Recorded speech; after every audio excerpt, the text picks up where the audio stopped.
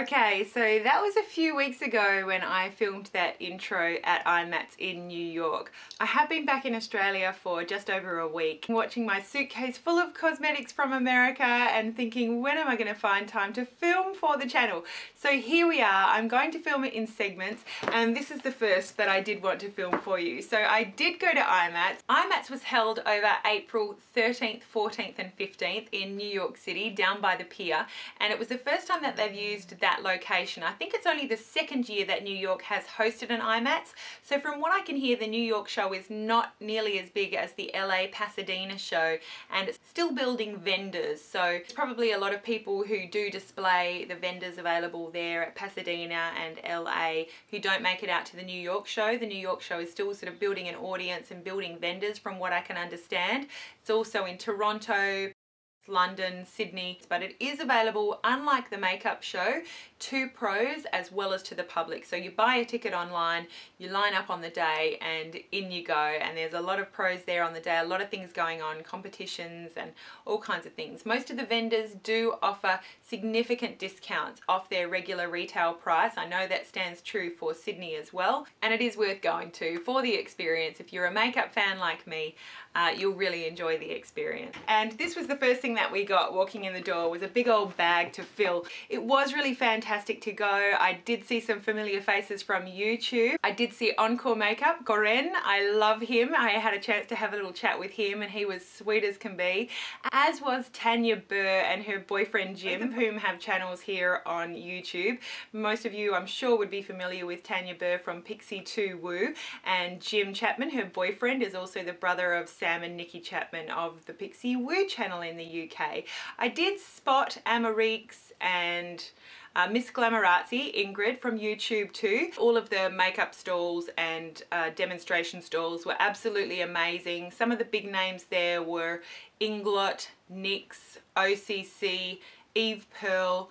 Makeup Forever was a bit of a disappointment. I think they just had a booth with some brochures maybe about their school, but they weren't really selling cosmetics there. One of the highlights was seeing the Australian company, Gorgeous Cosmetics. They were featured in a recent monthly subscription box sometime in the last few months. I got a beautiful red uh, lip pencil from them in the shade Scarlet. I love it and they really had a nice range of makeup there. Had a chance to speak with the Australian director and the founder and it was really great to speak with them and see how they've been finding entry into the American market which is what they're focusing on now. And the biggest highlight for me besides the fact that I was travelling to IMATS with my beloved sister Lainey, we caught the train up to New York just for the overnight trip and had a fantastic time, memorable time. It was just fantastic. Was to meet my very good friend Amy. So most of you who've been watching my channel for a a while would be familiar with my friend Amy who we met through this YouTube channel. She responded to one of my videos asking me if she could help me find some products in America that I wasn't able to get or MAC Cosmetics that I'd complained about paying too much for and she has just been a really good friend and that was the first time that I met her. We met in line at IMATS and uh, it was just fantastic to finally meet Amy and her beautiful daughter Natasha and um, and enjoy that experience with them as well. So Hi Amy, hi Natasha, and a big huge shout out to little Scarlett, Amy's other daughter who did not make it. It was such a pleasure to meet your mummy and your sister and next time I hope to meet you too Scarlett. So without further ado, I wanted to show you what I picked up at IMATS. It was very, very thoughtful of them to give everyone nice big bags with very strong handles. The first thing we did when we rocked in was race to the Inglot booth and we had a pretty good spot in line but I would tell you Inglot was busy right from from the get-go. So I had a list, I knew exactly what I wanted. I had a list of what I wanted from Inglot, as did Amy and, um, and everyone else there. There were hundreds of people, like four people deep, and that was the first place we ran to when we got in the door. It was crazy. It took us probably an hour to get served and get everything that was on the list that was exhausting. People were sort of pushing each other out of the way. And this time they learnt, I think, from some of the previous IMATS by fixing the swatches to the counter so that you could test the product when you got up to the counter. But they've had problems before where you know Inglot is where you take the actual product pan off the display and stick it on a magnet tray and then you hand that to the sales associate to tell them what you want. That doesn't work so well in a makeup show situation so they have learnt from previous experiences you could tell and they fixed it so that if you wanted to touch and swatch any products you did have to get up to the counter and do it there and then when you knew what you wanted they had a little list there that you could write down on paper and then hand to them so that they could pick whatever it was that you wanted. So that was nice. Rather than a line, it was just a square, you know, they had tables making up a big square. It was empty in the middle. That's where they had all the staff and that's where they had all the product and then they had the samples in little intervals around that square and people were just four people deep you know surrounding the entire huge uh, display from Inglot. So I dare say that's probably what the setup will be in Sydney this year later on. My advice would be wherever you can, just find out what you want from Inglot before you go in. Other thing worth noting is that I found out from other YouTubers post IMATS videos is that you could actually go into the IMATS store in New York City and they were also offering that same discount at IMATS. I can't remember if it was 30 or 40% off regular retail. It was a great saving and well worth it, but you could also get that at the Inglot store in New York. So ladies, again in Australia and elsewhere around the world, it may be worth just finding out from your local Inglot store if they'll be doing the same thing for the show so that if you get to the show, there's all these people surrounding the Inglot stall, know that you can maybe spend your time elsewhere at the show that day and still get that great discount at the store if you head there that afternoon. I got a few things from Inglot. These were all pre-planned purchases. I have not had a chance to use them yet. The first thing I got was a Freedom System palette and this one is the 20 system palette. I think each shadow went for about $4.50 American uh, at the show and what's beautiful about this one is I just got all 20 colors of the rainbows. So what you're actually getting in 20 pans here is 20 times three shades per pan. So 60 different shades here. Fantastic for makeup artists, of course. Travels nicely with the little magnetized lid. Plenty of people have posted swatches of these online and I'm just excited about the fact that you've got the same gradients. If you're just wanting to do sort of a monochrome eye, it's all there in that one little pan for you. And you've got 60 colors and then I also got their pressed powder. Their pressed powder comes with a little sponge in a mirror compact and it's like a color correcting um, powder. This is in the shade 24 and you can just see it sort of color correcting. You can either swirl it all together or use each of the four shades as powder. I really liked that because you don't see a lot of colored powder palettes. I liked that it was in a nice compact case as well so I would definitely take that traveling a really great option there. And then the last thing I got from Inglot was their cream powder and this is in the color 86 I did go to the Inglot store uh, we had a fantastic hotel right in Times Square. It was the W Hotel which is ultra chic and modern. If you're going to New York City I would definitely recommend staying at the W Hotel. Every single staff member looks like a Hollywood movie star. They're absolutely gorgeous. I gasped every time one of the porters came up to take our bags or to bring our bags to us. They're all absolutely stunning. Anyway, it's right in Times Square and it's right across the road, just less than a block away from the Inglot store. So it was a fantastic opportunity just to run into Inglot and make sure that there was nothing that I wasn't forgetting before we got to the show. So this is their cream to powder foundation, very creamy, color 86. Looking forward to seeing how that goes. It does say that it's cream powder, so like a cream to powder foundation. So a few tips for those who will be attending IMATS shows around the place from here on out. I would say book your tickets early. They definitely do sell out these shows. They usually have over a couple of days that you can go with a pro day the day before. So in New York, the Friday was a pro only day and then the Saturday and the Sunday were open to public who had purchased tickets. In New York, they had sold out the tickets, so it's well worth booking as far in advance as you can.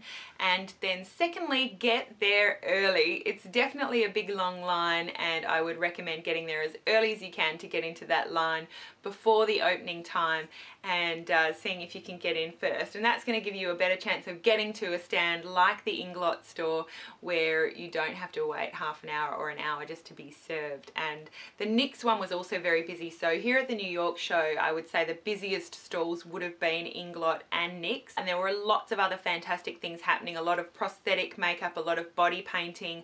Uh, Koren of Enkore Makeup even did like a 3D body art. It was absolutely spectacular. All kinds of things going on stage shows for the day, fashion shows, all kinds of things. A lot of activity, a lot of energy, and just a fantastic place to be. So the next place I hit after Inglot was NYX. And NYX was kind enough to supply like a big, huge canvas bag to put all of your purchases in. The things that I got from NYX, some of them were pre-planned. I picked up a NYX Butt Naked Eyes palette. I think NYX was offering probably 30 to 40% off their regular retail as well. And this is what the butt naked palette looks like. You can see those 15 shades of eyeshadow there and then a little drawer slides out.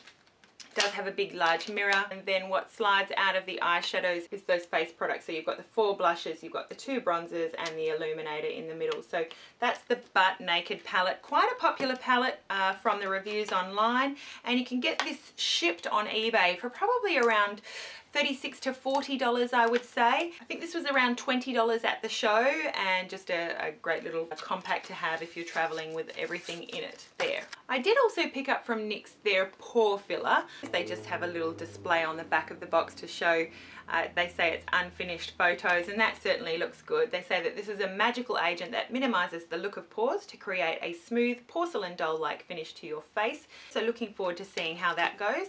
And I did also pick up the NYX Stay Matte but Not Flat liquid foundation. I've heard great things about the powder. I believe that's a Stay Matte but Not Flat powder. This is oil-free, water-based, full coverage, mineral enriched and it's a matte finish obviously. I got this in the shade 02 Nude not sure how perfect a match it is for me. I have not tried that yet. We also got a catalogue. I guess anyone who was making a purchase got a full catalogue for spring summer 2012 and there's definitely things in here that I have not seen yet uh, new glosses new stick blushes uh, new color lip balms roll-on shimmers glam shadow sticks there or these lip glosses they're called the glam lip gloss aqua luxes so some beautiful products coming out from NYX over the spring and summer. And I did get a couple of palettes. I got the Runway eyeshadow palette. This is in the shade Catwalk 04 and they just sort of say that they're the shades there. I picked that up for a girlfriend. I did also get their matte smoky look One Night in Morocco palette. So this is what that palette looks like. We've got eight eyeshadows all in sort of brown, grey, neutral colours, an eyeshadow base, that's a cream form, and then four lip products. And of course the lip products are separate. I really like that. We'll see how long that eye base lasts. I don't like cream and powder in the same kind of compact compartment. And then the last palette that I picked up from NYX was their Winter in Moscow silver grey smoky look. And the Winter in Moscow is like a book kind of thing with a magnetic closure. You can see that they've got in that palette just a little size mirror. We've got two blushes.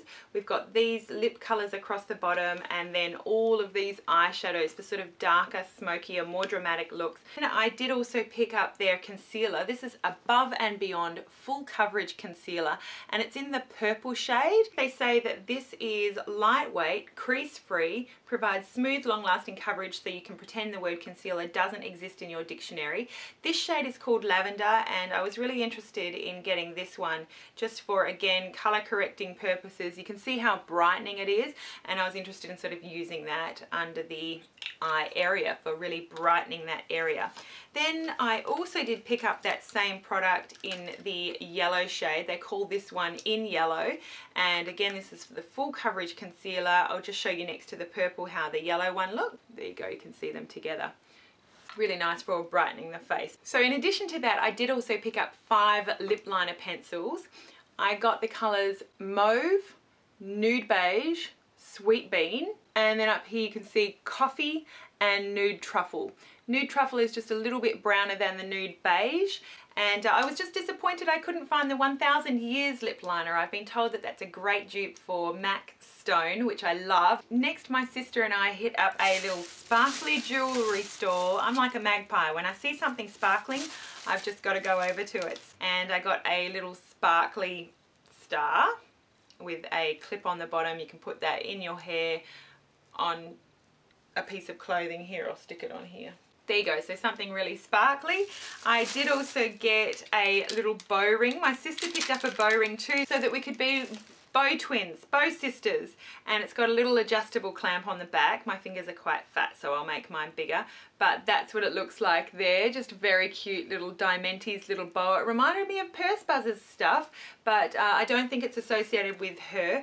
So anyway, my sister and I have little matching ones of that. I think she got I can't remember if she got silver or not. Did you, lady? I'm not sure. And then I also picked up some little bow earrings in that same design. A little clip so you can clip your hair with that little bow. I thought that was so cute. And then lastly, a hair elastic that just has that plait to sort of, you know, camouflage in with the hair. Next I hit the Gorgeous Cosmetics stand and Gorgeous Cosmetics is an Australian brand. They're a bunch of really nice people. I got a chance to meet the uh, Australian director as well as the founder of the company. They were really really nice and I was really impressed with the products that I saw on display there. So I got a couple of lipsticks from them. It describes their lipsticks as the smooth fine texture feeling luxuriously lightweight on your lips enriched with emollients to nourish lips. So I got two shades. I got one Gorgeous Cosmetics lipstick in the shade Buff. They really have nice uh, packaging. It's sort of metallic, rounded corner, black, sort of square packaging. And Buff looks like this. Just a beautiful sort of peachy nude colour. And then I also got the shade Sophia. And Sophia was a really nice peachy colour as well. A lot more peachy than the first shade. You can see there, Buff and Sophia really pretty sort of neutrally nudish type shades. The last thing I got from Gorgeous Cosmetics was their contour palette and I thought this was absolutely beautiful when I swatched it. It does come with a full-size mirror and then it comes with these eight shades. We've got all kinds of shades, even blushes, just a beautiful nice palette to use every day, to travel with, to put in your kit. I was really impressed with that palette. Looking forward to showing you a little bit more about that down the track if I like it as I use it. I did get this really nice sort of clear makeup case, perfect for travel. I love clear when it comes to makeup bags and travel makeup cases. Makes it so much easier to find things quickly. This was from a store run by a company called Naimie's Beauty Center and Naimie's Beauty Center are actually uh, located in Valley Village in California California. They just had a lot of sort of pro makeup cases. This was one of the smallest things that they had, but they have in this sort of similar material, nice big makeup professional kit type cases. Absolutely gorgeous. If I didn't have suitcases to worry about and I was a professional makeup artist, I would have bought up a lot more at that store. Then the next place I hit was Ardell. Ardell had a deal, something like three or four pairs of lashes for $10 and then they threw in a few things depending on your spend. So I did get for free their adhesive lash grip. I haven't used that before. I've only ever used their Duo. I did pick up their Duo adhesive in the 14 gram, the clear one, as well as another one of the uh, dark tone duos. And I really like that. So the lashes that I picked up from Ardell, I got three pairs of their fashion lashes in the 105. You can see what they look like. Just sort of nice, dramatic basic lashes. I got one set of their Invisiband Wispies. I love those. They're just so natural looking and absolutely beautiful. And then I got two sets of their Runway Makeup Artist Collection lashes in Daisy and they're black as well. So really looking forward to using those lashes. And then the next place I went was Royal and Langnickel for their brushes. I know that they definitely come to Sydney. I don't have any Royal and Langnickel brushes at all, but they certainly had a lot on display and for very inexpensive prices. I uh, brought this bag to the show. I didn't realize that they'd be handing out bags as you went in, but I found this bag actually at Priceline in Australia and brought this for the show for the express purpose of putting my purchases in, put the makeup in the bag and nobody gets hurt. I thought that IMATS was the perfect place to take this bag and this is where my brushes are so I'll just pull them out randomly. Oh, this was a beautiful brush. This was the biggest type kabuki brush from Royal and Langnickel. It's so soft. They call this a dome kabuki with a handle. It is synthetic hair and while I was there I met a guy who I'd been seeing on um, Pursebuzz's Tuesday tips or Thursday tips and he was recommending this kabuki to us as a dust off brush. And we had a great conversation about powder and how to keep powder on and how to apply powder. And he recommended what Wayne Goss has been recommending and a lot of other makeup artists. And it's putting your foundation on whatever you use and then setting with a powder with a powder puff by pressing the powder in. Pressing it in, pressing it into your pores, pressing it into your skin, and then using a brush just to knock off the excess. And then once you've done that, you just spray down with a makeup finishing spritz and that will last you all day. He said it can get cakey when you apply powder with this kind of a product. It can get cakey. People wonder what they've done wrong, but that's how those brushes should be used. I also bought it as an all over sort of body bronzer. Looking forward to using that. I did also get their C255 Stippler. This is the Royal and Langnickel Silk range.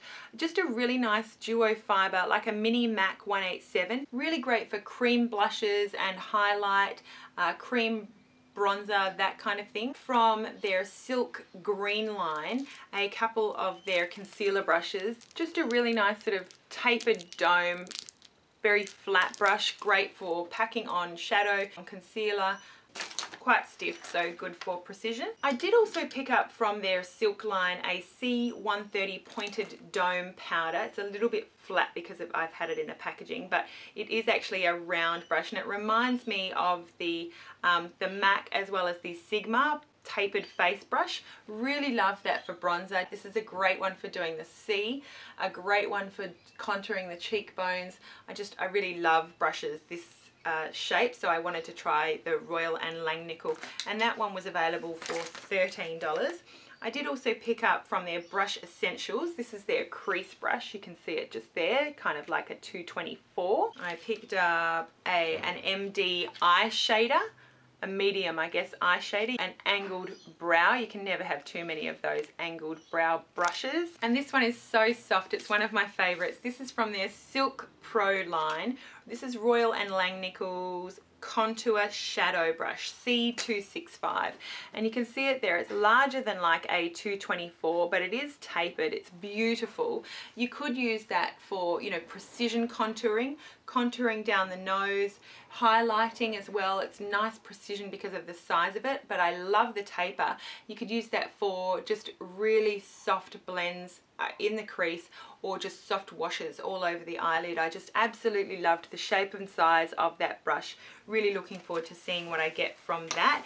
And then the last thing I got from Royal and Langnickel was one of their belts. So I got their black belt here but I really liked that it had the three tiers and you can just fit a whole lot of brushes of varying sizes in there. So really excited about that. So that is my haul from IMATS New York City. It was such a thrill to go, such a thrill to meet all these wonderful talented people. There was so much energy. Fantastic to have an all girly overnight trip with my sister and to meet Amy and Natasha. It just meant the world. I'll remember it for the rest of my life. Thank you New York City and anyone who is interested in attending any, any other IMATS down the track. Um, definitely an experience you'll never forget. I really had a fantastic time and would recommend it to you fans of uh, makeup who want to go, definitely, but go early and wear comfortable shoes. So thank you so much for watching everyone. I will be posting more videos upcoming just showing different bits and pieces that I did also pick up in the US and uh, looking forward to seeing you soon next time. Thanks for watching and have a beautiful day. Bye.